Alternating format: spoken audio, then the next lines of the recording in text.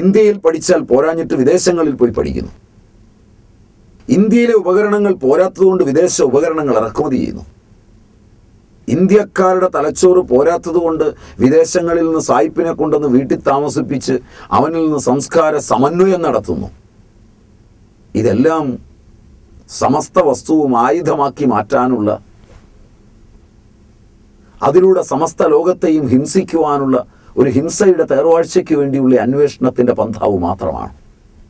ഒരു നിമിഷം കണ്ണടച്ച് ഈ ഉപകരണങ്ങളിൽ നിന്ന് ഈ തൂലികകളിൽ നിന്ന് ഈ ദൃശ്യ അവബോധത്തിൽ നിന്ന് ഒന്ന് പിന്തിരിഞ്ഞിട്ട് തന്നെ ഒന്ന് കണ്ടിട്ട് അതിനുശേഷം ഈ ഉപകരണം ഒന്ന് എടുത്ത് ഉപയോഗിച്ചാൽ ഇവന്റെ ബോധം അതിൽ പ്രവർത്തിപ്പിക്കുമ്പോൾ അത് കാരുണ്യത്തോടുകൂടി ഉപയോഗിക്കുവാൻ പറ്റും.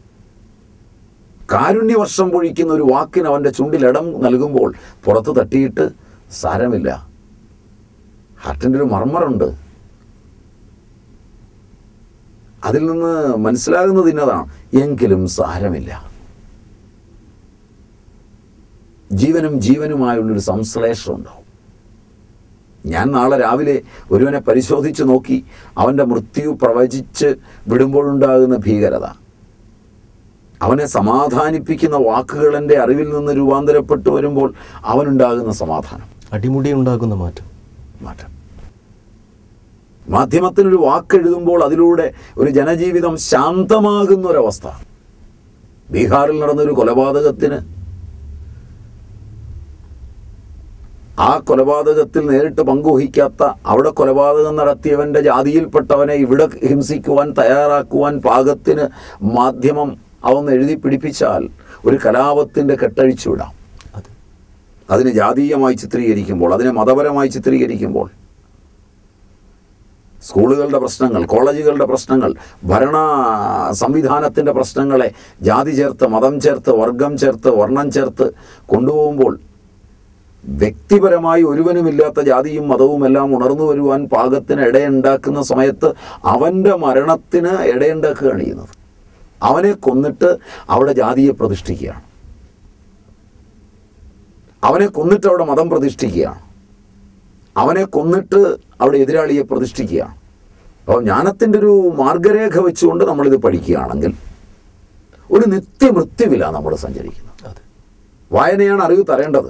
പക്ഷെ ഓരോ വായനയും നമ്മുടെ മൃത്യുവാണ് സംഭവിപ്പിക്കുന്നത്. ഇത് മാറണം. വസ്തുതാപരമായി നമ്മൾ ഓരോ കാര്യങ്ങൾ പഠിക്കുമ്പോഴും ഓരോ കാര്യങ്ങളിലൂടെ നീങ്ങുമ്പോഴും അതിനനുഗുണമായി സംഭവങ്ങളെ കാണുമ്പോഴും രാഷ്ട്രവും ഭരണകൂടങ്ങളും മതങ്ങളും മാധ്യമങ്ങളും ദാർശനികന്മാരും ശാസ്ത്രകാരന്മാരുമെല്ലാം പുരോഗതിയെ കാണുന്നത് മത്സരത്തിന്റെയും യുദ്ധത്തിന്റെയും തലങ്ങളിലാണ് പ്രശാന്തിയിലല്ല. ലോകത്ത് ഇത്തരം പഠിച്ച ശാസ്ത്രകാരന്മാരിൽ നിന്നോ ഇത്തരം സാങ്കേതിക വിദഗ്ധന്മാരിൽ നിന്നോ അല്ല ലോകത്തിന് പ്രയോജനമുണ്ടാകുന്ന സംഭാവനകൾ ഒന്നും ഉണ്ടായത് എന്നുകൂടി ഞാൻ പറഞ്ഞാൽ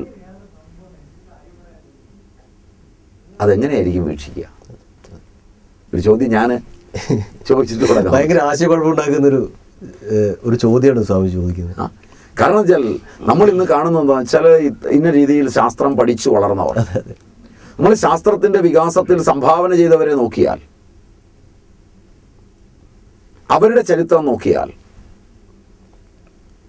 ആ ചരിത്രത്തിലൂടെ പഠിക്കുന്ന ഒന്ന്. നമ്മളുടെ കോടിക്കണക്കിന് രൂപ കൊടുത്ത് പഠിപ്പിച്ച് പി എച്ച് ഡി എടുപ്പിച്ചവരിൽ നിന്ന് നമുക്ക് എത്ര സംഭാവന കിട്ടിയിട്ടുണ്ട്? ശാസ്ത്ര സാങ്കേതിക രംഗത്തെ അതിവിദഗ്ധന്മാരെ സൃഷ്ടിച്ചെടുത്തവരിൽ നിന്ന് ജനോപകാരപ്രദമായ എത്ര കണ്ടുപിടുത്തങ്ങളാകെ ഉണ്ടായിട്ടുണ്ട് ആരെങ്കിലും കണ്ടുപിടിച്ചത് മാന്യമായി ജനത്തിന് ഉപയോഗിക്കാവുന്ന ഒരു തലം ഇവരുണ്ടാക്കിയിട്ടുണ്ടോ? അതോ അതിനെ ഇവർ പഠിച്ചതിന്റെ സംഭാവനയാണെന്നോർത്ത് രൂപാന്തരപ്പെടുത്തിയിട്ടുണ്ടോ? ഇവരതിനെ വകഞ്ഞു വെച്ച് ജനത്തിന് അനുഭവിക്കാൻ പറ്റാത്ത വിധത്തിൽ ആക്കി തീർത്തിട്ടുണ്ടോ? ലൈസൻസ് എടുക്കുന്ന വിദ്യാഭ്യാസവും വിവരദോഷത്തെ മാത്രം ശാസ്ത്രമാണെന്ന് അനുഭവത്തിൽ പ്രമാണപ്പെടുത്തുന്നുണ്ടോ? അലക്സാണ്ടർ വോൾട്ടയാണ് വോൾട്ടായിക് സെല്ല് കണ്ടുപിടിക്കുന്നത്. അത് യാദൃച്ഛികമാണ്. കണ്ടെത്തലൊക്കെ യാദൃച്ഛികമാണ്. അലക്സാണ്ടർ വോൾട്ട വോൾട്ടായിക് സെല്ല് കണ്ടുപിടിക്കുമ്പോൾ സൾഫ്യൂരിക് ആസിഡും സിങ്കുമാണ് ഉപയോഗിച്ചത്. ഒരു ട്രെയിൽ സൾഫ്യൂരിക് ആസിഡ് ഒഴിച്ച് സിങ്കിന്റെ ഒരു റോഡും കോപ്പറിന്റെ ഒരു റോഡും വെച്ചാണ് അയാൾ ആദ്യമായിട്ട് വൈദ്യുതി കണ്ടുപിടിക്കുന്നത്. അയാളത് എന്താണെന്ന് ശാസ്ത്രീയമായി വ്യാഖ്യാനിച്ചോ ഇല്ലയോ എന്നതിനേക്കാൾ അതിന്റെ ഉപഭോഗമുണ്ടായി. അതിനെ നവീനപ്പെടുത്തിക്കൊണ്ട് ലെക്ലാൻഷയെ ലെക്ലാൻഷ സെല്ല് കണ്ടുപിടിച്ചു. കുറെ കൂടെ ഒരു നവീകൃത രൂപമായി. നമുക്ക് കൊണ്ടുപിടിക്കാവോ കൊണ്ടു നടക്കാവുന്ന ട്രൈസെല്ല് കണ്ടുപിടിച്ചു. ഇതൊന്നും നൂറ്റാണ്ടുകളുടെ ഗവേഷണം ചെയ്ത് കണ്ടുപിടിച്ചതല്ല. അല്ല യാദൃച്ഛികതയായിരുന്നു ഇവർ കണ്ടുപിടിച്ചതും ജനത്തിനെല്ലാം ഒരുപോലെ ഉപയോഗിക്കാവുന്നതും ഇവരും ജനത്തിൽ ഒരാളായി തീർന്നതുമായ സംഭവത്തെ ഒരുത്തൻ വ്യാഖ്യാനിക്കാൻ വന്നു. ഇത് വൈദ്യുതോർജം രാസോർജം വൈദ്യുതോർജമായി മാറുന്നതാണ്. അങ്ങനെ ഇവൻ സിദ്ധാന്തം എഴുതിയതോടുകൂടി ഇതൊരു ശാസ്ത്രത്തിന്റെ സംഭാവനയായി. ആ വ്യക്തിയെ അങ്ങ് മറച്ചു. അതിന്റെ ചരിത്രത്തെ അങ്ങ് മാറ്റി. കണ്ടെത്തിയ അനുഭൂതിയെ മറന്നു. അനുഭൂതിയെ മറന്നു. അവൻ കണ്ടെത്തിയ സ്വർഗീയമായ നിമിഷങ്ങളും മറന്നു. മറന്നു. ഇവന്റെ ബുദ്ധി മാത്രമായി. അതിൽ നിന്നുള്ള വഴക്കുകളും വക്കാണങ്ങളും ഇവന്റെ അന്തരംഗത്തിൽ നിന്ന് രൂപാന്തരപ്പെട്ടു വന്നു. ഇവൻ ഒന്നും കണ്ടുപിടിക്കാൻ കഴിഞ്ഞില്ലെങ്കിലും കുറേ കാലത്തേക്ക് ഇവൻ ലോകത്തെ നിയന്ത്രിച്ചു ഒരു കണ്ടുപിടുത്തവും ലോകത്ത് നടന്നില്ലെങ്കിലും ലോകത്തിലെ മുഴുവൻ വിദ്യാർത്ഥികളെയും ഇതിന്റെ ശാസ്ത്രം പഠിപ്പിക്കാൻ മെനക്കെട്ടു. അവരൊന്നും ഈ സെൽ ഉണ്ടാക്കിയില്ലെങ്കിലും ഇത് വെച്ച് പരീക്ഷകൾ എഴുതി.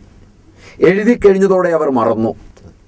അലക്സാണ്ടർ വോൾട്ടയെയും വോൾട്ടായിക് സെല്ലിനെയും ലക്ലാൻഷയും ലക്ലാൻഷ സെല്ലിനെയും ഡ്രൈ സെല്ലിനെയും ഒക്കെ ജനം മറന്നുപോവുകയും പരീക്ഷയ്ക്ക് എഴുതി മാർക്ക് മേടിക്കുകയും ചെയ്ത് ഒരു ജീവിതകാലം മുഴുവൻ കളഞ്ഞു കുളിച്ചു ഈ ശാസ്ത്രകാരന്റെ പിൻപറ്റി. ഇവനിൽ നിന്നോ ഈ പഠിച്ചവനിൽ നിന്നോ കണ്ടെത്തലൊന്നും കാര്യമായി നടന്നില്ല.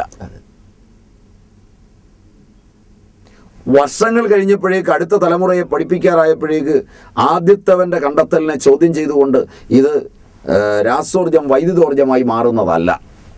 ഇലക്ട്രോണിക് കോൺഫിഗറേഷനാണ് ഇലക്ട്രോൺസിന്റെ മൂവ്മെന്റാണ് പുതിയ പഠനം വന്നു. അഞ്ചാം ക്ലാസ്സിൽ ഇത് കുറേ പിള്ളേർ പഠിച്ചോട്ടെന്നായി. കാരണം കുറേ പേർക്ക് തൊഴിലതാണ്. അത് നിർത്തണ്ട. സിലബസ് മാറ്റണ്ട. മുതിർന്ന ക്ലാസ്സിൽ ചെല്ലുമ്പോൾ ഇതിനെ നിഷേധിച്ചുകൊണ്ട് അടുത്തത് പഠിച്ചോളാനായി. അത് നിർത്തണ്ട. അപ്പോൾ കുറേ അധ്യാപകർക്ക് തൊഴിൽ കിട്ടി. പക്ഷെ ഇതെല്ലാം പഠിക്കുമ്പോഴും ഇതിന്റെ മാറ്റങ്ങൾ ഒരു സത്യത്തിൽ നിന്ന് വേറൊരു സത്യത്തിലേക്ക് അല്ലെങ്കിൽ ഒരു അസത്യത്തിൽ നിന്ന് വേറൊരു അസത്യത്തിലേക്ക് സഞ്ചരിക്കുന്നു എന്ന് തിരിച്ചറിയാതെ എത്ര കോടി രൂപയും എത്ര ജനങ്ങളുടെ ഊർജവും നശിപ്പിക്കുമ്പോഴും കണ്ടെത്തലുകൾ ഇതിനെല്ലാം അപ്പുറത്തൊരു യാദൃച്ഛികതയിൽ നിലകൊള്ളുകയും ചെയ്യുന്നു.